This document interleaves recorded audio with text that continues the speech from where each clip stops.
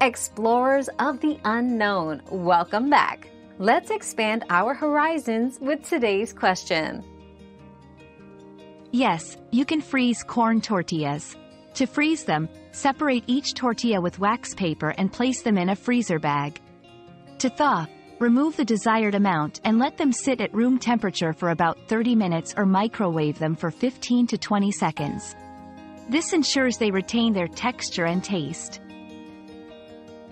We've quenched today's curiosity, but there's always more to learn. Keep the curiosity alive by subscribing and joining us for our next adventure.